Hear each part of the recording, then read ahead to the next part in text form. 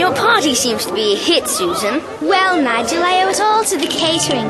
My guests just love the red jelly and are simply mad for the choccy crackles. But no one's touched these rather dull cucumber sangers. Dull? Oh, not glamorous enough for you, eh? Well, little Miss Life for the party.